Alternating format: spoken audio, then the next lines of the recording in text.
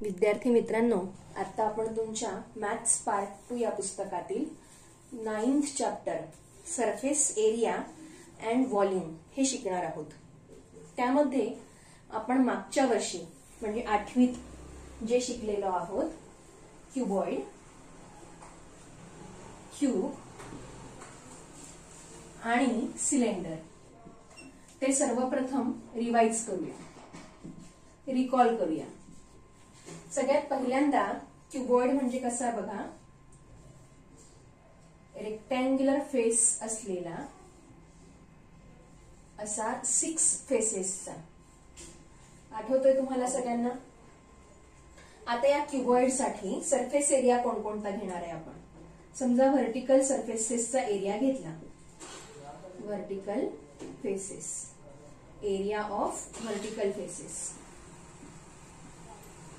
तर बघा सगळ्यात पहिल्यांदा ही जी आहे ना याला आपण म्हणतो एल ही जी आहे याला म्हणतो बी आणि ही आहे याला म्हणतो हाईट ओके लेंथ ब्रेथ आणि हाईट तर व्हर्टिकल फेसेस घेताना लेंथ आणि ब्रेथ हा जो खालचा एरिया आहे तो आपण घेणार नाही. आणि हा जो वरचा एरिया आहे लेंथ आणि ब्रेथ हा आपण घेणार नाही. म्हणजे ट्वाईस एल बी निघून जाईल. तर काय काय येईल बघा? बी इंटू एच म्हणजे हा एरिया बी इंटू एच म्हणजे हा एरिया त्यानंतर एल इंटू एच म्हणजे हा उभा आणि एल इंटू एच म्हणजे हा उभा याप्रमाणे. म्हणजे ट्वाईस एल एच आणि बी एच व्हर्टिकल फेसेस म्हणजे उभे फेसेस उभे फेसेस घेताना हा जो खालचा फेस आहे हा आपण कट करून टाकला आणि वरचा फेस सुद्धा कट केला. म्हणून फक्त ट्वाईस एल एच आणि बी एच असं आहे. जर टोटल सरफेस एरिया म्हटलं total surface area of cuboid जर म्हटलं तर मग सगळंच घ्यावं लागेल. ट्वाईस हा खालचा एरिया म्हणजे लेंथ टू ब्रेथ जसं आपण एरिया ऑफ अ रेक्टँगलसाठी घेतो ना तसं. तर हा खाली लेंथ इंटू ब्रेथ आहे. नंतर हे दोन फेसेस आहे बी इंटू एच आणि हे मागचा आणि पुढचा हे दोन फेसेस हा जो दिसतोय तुम्हाला हा आणि याच्या मागचा हा फेस हे दोन्ही आहेत एल इंटू एच म्हणून twice L B plus B H plus L H त्यानंतर व्हॉल्यूम ऑफ अ क्युबॉइड जर आपल्याला विचारलं तर व्हॉल्यूम ऑफ अ क्युबॉइडसाठी फॉर्म्युला आहे length into breadth into height volume म्हणजे याची कपॅसिटी त्यात किती सामावून घेण्याची क्षमता आहे ते. तर त्यासाठी फॉर्म्युला आहे L into B into H हे झालं क्युबॉइडचं आता यानंतर जर आपल्याला क्यूब बघायचा असेल तर हा असा असतो क्यूब. क्यूबच्या सगळ्या एजेस कॉन्ग्रुएंट असतात. म्हणजे याचा each face is a square असे सहा फेसेस टोटल आपल्याला इथे पाहायला मिळतात. जर आपण याच्या एका एजची लेंथ लांबी साईड जर एल घेतली ही पण एल आणि ही पण एल असं होईल.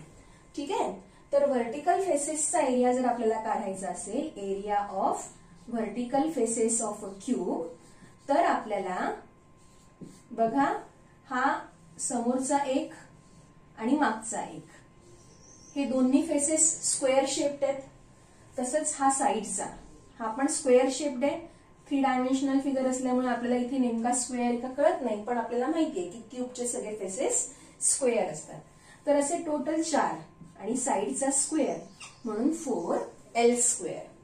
त्यानंतर total surface area of a cube जर आपल्याला विचारलं total surface area of a cube तर असे इथे टोटल सहा फेसेस असतात. बघा हा खालचा एक वरचा एक समोरचा एक मागचा हा इकडचा आणि इकडचा.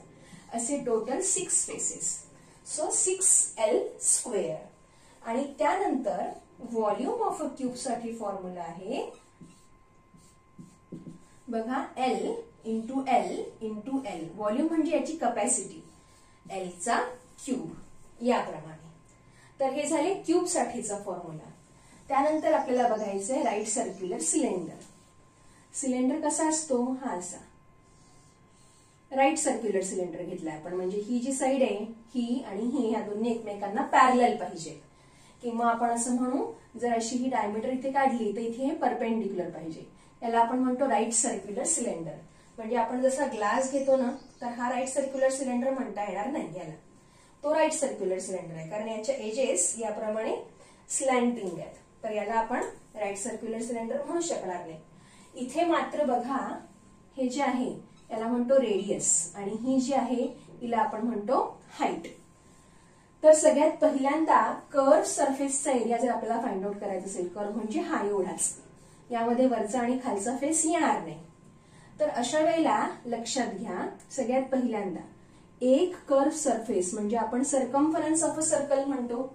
त्यासाठी फॉर्म्युला असतो टू पाय आर मग two pi R two pi R two pi R two pi R two pi R two pi R असं H times so it is curve surface area of a cylinder is equal to two pi R H two pi R H काय आलं का कळलं का?